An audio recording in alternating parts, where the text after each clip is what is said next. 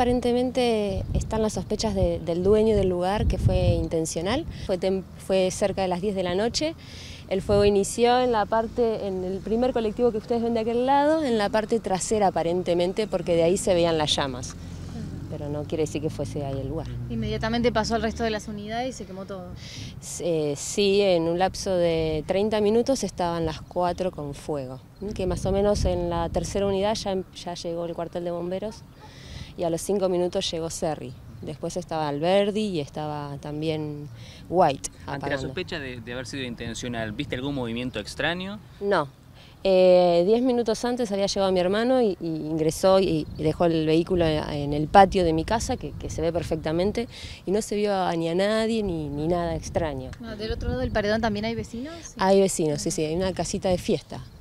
Y también quedó, se quedó permanentemente ahí por, por una cuestión de que estaban pegados a su lote. ¿En algún momento ustedes temieron que el fuego pase para la casa para mi casa no hay mucha probabilidad, sí, bueno, obviamente mi, hijo quedó choqueado, lo tuve que, sacar, tiene 8 años, por las explosiones de los neumáticos y además el fuego, las llamas eran bastante importantes. Claro. Bastante altas nos decías hace un rato, ¿no? Sí, sí, sí, bastante, eh, más de 3 metros 4 tenían. ¿El dueño vino anoche cuando pasó esto? Le llamamos, yo llamé al 911 apenas eh, comenzó el incendio eh, y automáticamente llamamos también al dueño y vive en un barrio cerquita de acá, así que estuvo en 10 minutos ya estaba él. ¿Hace mucho que, tiene este, este, lugar para dejar con los micros? No, hará mes y medio, ah. como mucho, no, la verdad que no. ¿Y presenta algún problema, no sé, con algún vecino, con alguien de las inmediaciones, por la presencia de las unidades acá o por alguna otra cuestión? No, nunca nadie me vino a decir nada de los colectivos ni a consultarme tampoco, no, no, no.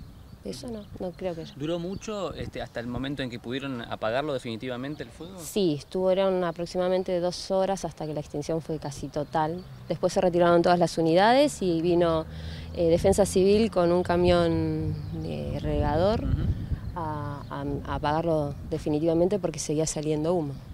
Eh, decían que era poco probable el tema del cortocircuito y demás porque tenían las baterías desconectadas. No sé Yo le consulté al dueño, que, que lo conozco, eh, a ver si había desconectado las baterías y él me confirmó que las cuatro unidades había sacado uno de los cables de las baterías. Así que él fue, esa fue su versión.